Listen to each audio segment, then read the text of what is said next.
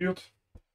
Итак, э, продолжаю рассказывать о том, как участвовал в шахматном марафоне в воскресенье 31 марта 2024 года в Екатеринбурге э, с Дюшор Интеллект, бывший с Дюшор 17 Олимпийского резерва школы и в помещении бывшего дворца шахмат. В четвертом туре моим противником был а, молодой шахматист Андрей Ахтариев. Андрей был, ну, относительно недавно, по моим меркам, а по его, наверное, уже очень давно. Был чемпионом Уральского федерального округа до 20, то есть в старшем возрасте. А, шахматист достаточно грамотный. Меня как-то обыгрывал в Блиц в Екатеринбурге на одном из этапов Гран-при Екатеринбурга.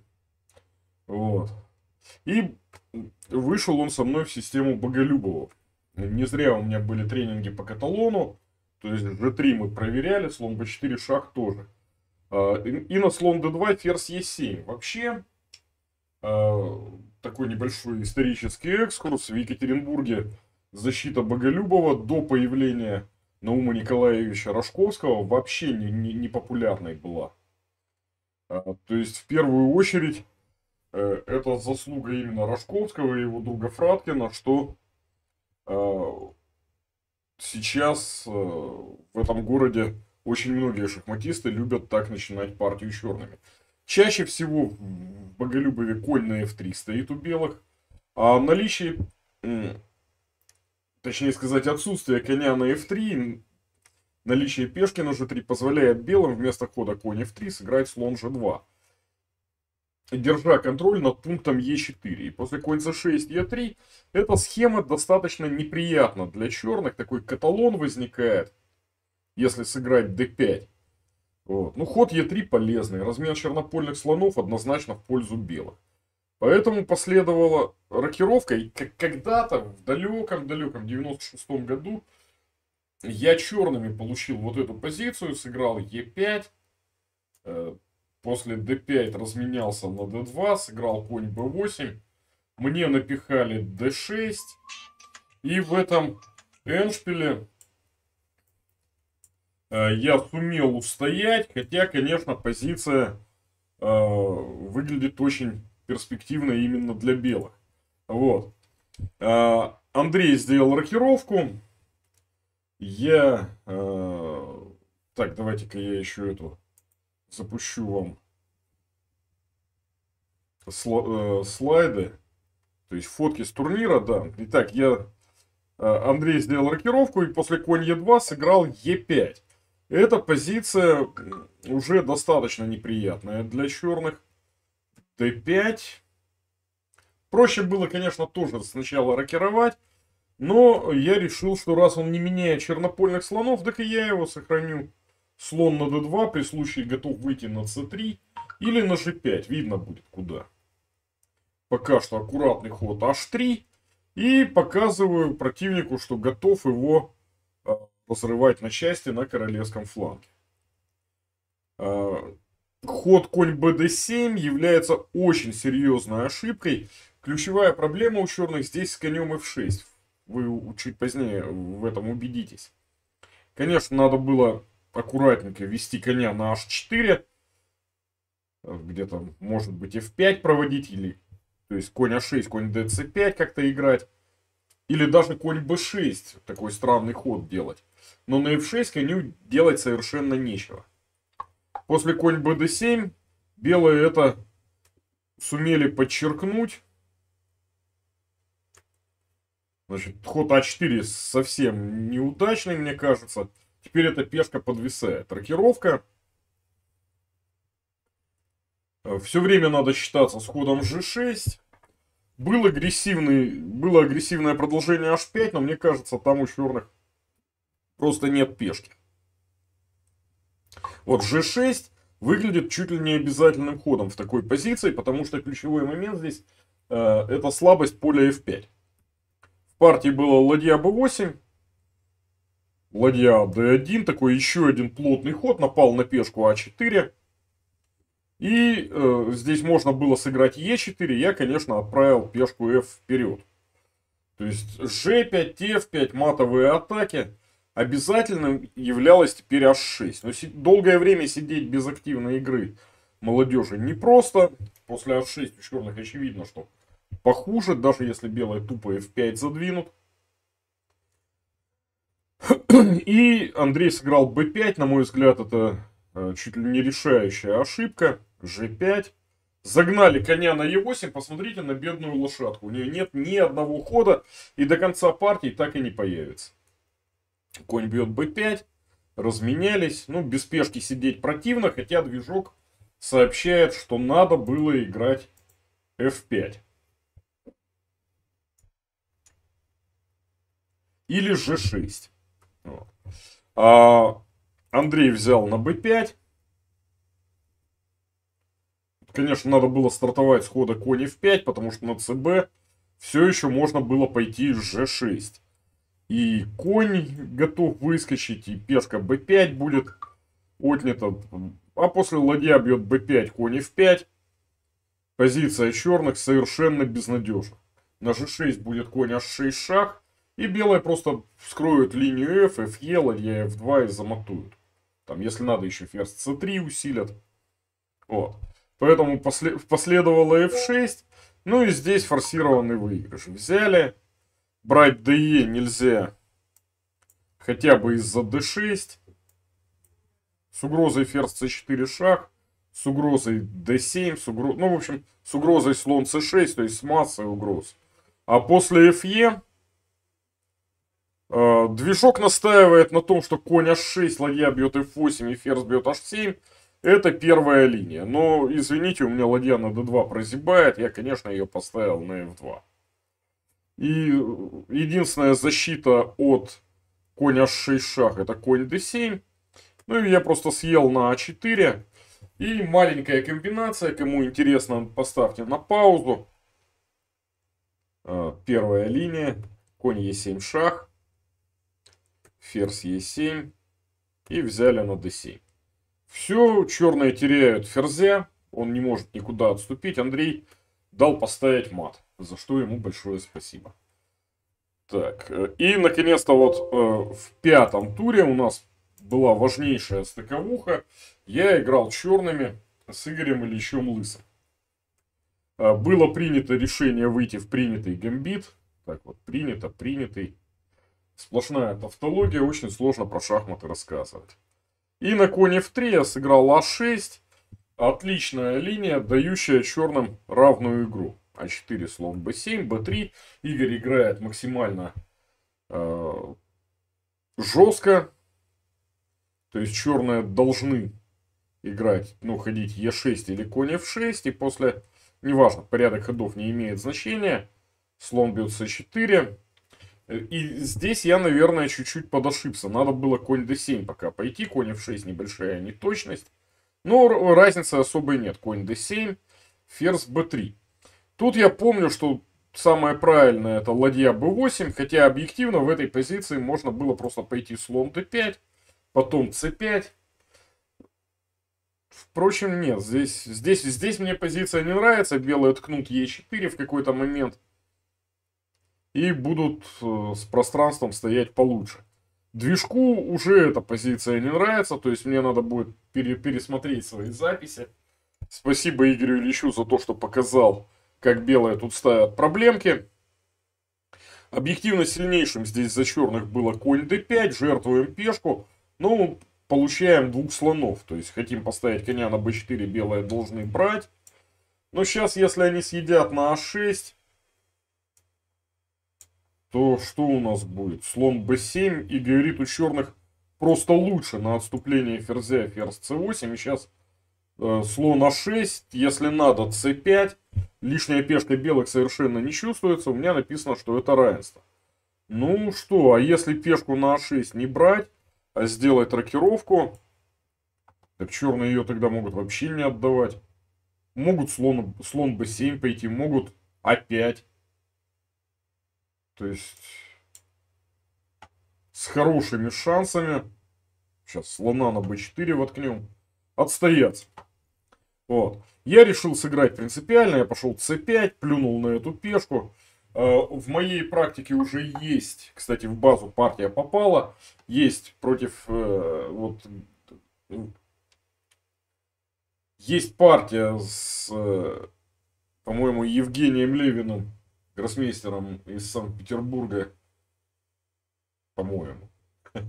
Э, сыгранная на, на одном из мемориалов Курносова, где я тоже отдал пешку А6 и уверенно отбился. Слон b7, ладья b7. Ну, понятно, что черные могли взять ДЕ, но э, вы должны понимать, что вот эту позицию я оценивал однозначно. У черных безнадежно. Два слона у белых и мощнейшая отдаленная проходная А. Поэтому ладья бьет b7. Лучше играть без пешки, чем тот отстой. Так, слон c5. Развитие надо завершать. И такой вот волжский гамбит, ферзь а8. И идем отнимать пешку. Ладья а7. Неточность, конечно, надо было пойти ладья b8. Определенная компенсация есть за пешку. Ладья а7. Конь c4. Да, ну вот здесь я был, как ни странно, полон оптимизма. Я придумал такой вот ход ферзь d5, как в Волжском гамбите, без спешки, в иншпилек. И Игорь здесь, э, ну, тоже, как и у меня, возраст предпочитает перейти в безрисковый иншпилек с лишней пешкой. Объективно сильнейшая ферзь Е2. Эншпиль от белых никуда не уйдет. При ферзях эта пешка не меньшая угроза. Вот. После ферзь бьет d5, ед. Движок уже оценивает, что позиция черных вполне защитима. Но, понятное дело, движок бьет конь, бьет f6. Мне это не понравилось, потому что мерещились э, совершенно различные атакующие возможности белых. В частности, конь g5. Ладья fb1. И, и, скажем, вот эту позицию мне казалось, что можно при случае не защитить. Ладья b8, слон f8 и g4. То есть одна из угроз конь d7, а другая угроза конь c6 и конь e7. То есть обязательный ответ ладья a7, чтобы прикрыть оба этих поля. Ну, как-то то, что черные потеряют пешку, очевидно, а вот смогут ли они дальше защититься, непонятно. Как бы слон f8 еще не попался. Поэтому я взял dc. dc при случае дает шансы э, на получение отличной игры за счет пешки c3. И здесь ладья b3 неточность. Конечно, надо было сразу блокадного слона выбить. И вроде как это ничья вообще. Ладья b3, слон d4. Вроде то же самое, но какие-то тонкости видит движок. Э, черные остались без пешки. Хотя вот эта позиция по мнению компа, она, на удивление, ничейная. Вот, G6, G3. Мои извинения, мне звонят сейчас с этого, с Автограда, у меня машинка в, э, ну, там, на обслуживании. Алло.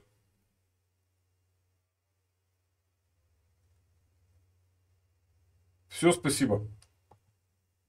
Так, мои извинения, да. Но я не буду переписывать ролик из-за такой небольшой вставки, я прошу простить просто вас. Вот. И на удивление, вот эта позиция, она ничейная. То есть, ясно, что если смахнуть все ладьи, у черных проиграно. А, с черных спасает именно мощная ладья на А2. Вот. Ладья D1, король G7, ну, точнее было H5. Тут у белых был ход G4. Ну, а вот эта позиция, к сожалению, для белых они не способны э, надавить ни на f7, ни сдвоиться по линии f.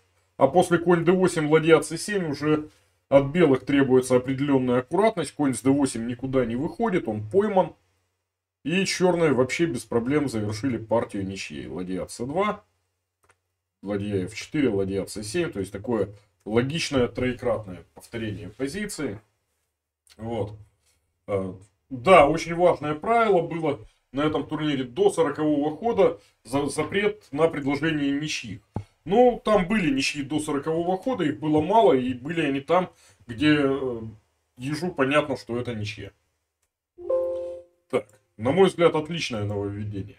И, э, значит, в шестом туре я опять играл белыми против молодого шахматиста Павла Казачкова. Когда-то в далеком детстве я проиграл белыми его папе э, в варианте дракона, в социаляночке в острой. И Павел тоже очень острый шахматист, очень любит атаковать. И мне кажется, что вот у него перспективы из молодых шахматистов, ну, как бы стать очень сильным есть. Тактику видит отлично. Э, чуть-чуть надо подтянуть позиционное понимание. Значит, э, здесь я выбрал вариант, который рекомендует Бореев э, на канале Левитова, на Левитов Чес. У него есть такой длинный стрим с Левитовым.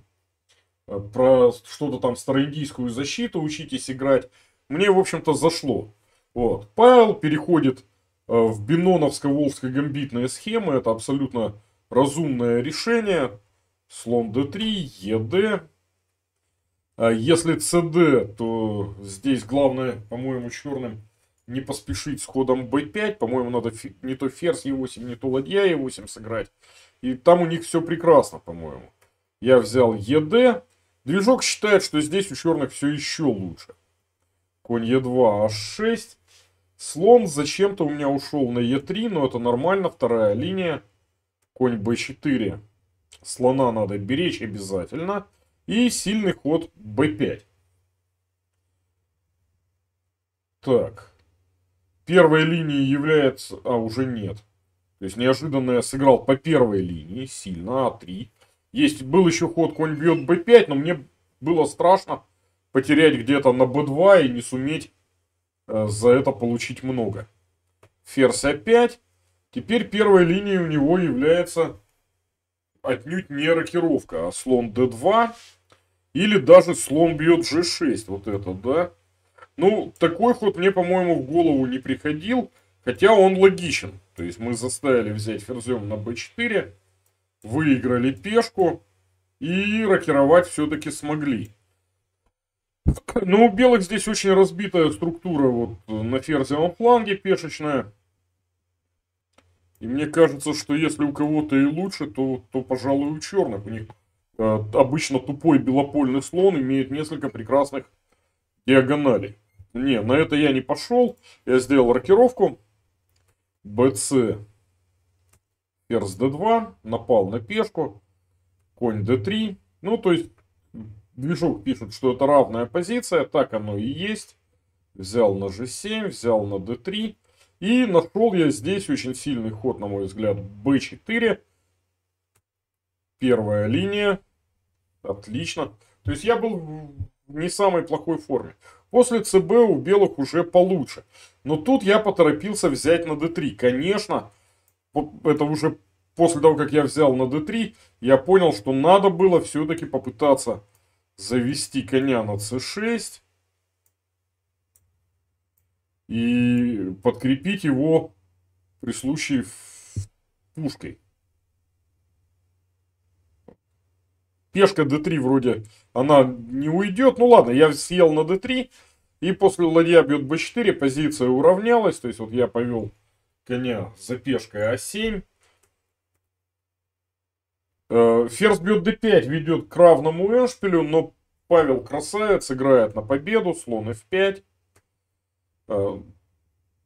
Сейчас ладья c4, да, и у черных все отлично. Я бы бил на d5 конем, но это потому, что я тяготею к окончанию. Да, после ферзь цепи dc у черных проходная становится очень опасной. После ферзь бьет d5 мне удалось э, уравнять и даже где-то обмануть. Не, неаккуратный ход d5, первый неаккуратный. И на конь b5 надо было играть как-то слон c2. В общем, держать контроль над пунктом d4. Вот. А э, Павел сыграл слон e4. Ну, все еще равенство. Можно взять на d6. Но э, отступление на g5 уже позволило белым захватить инициативу. С конем на d4 белые вообще ничем не рискуют. Всегда пограживает ладья а7.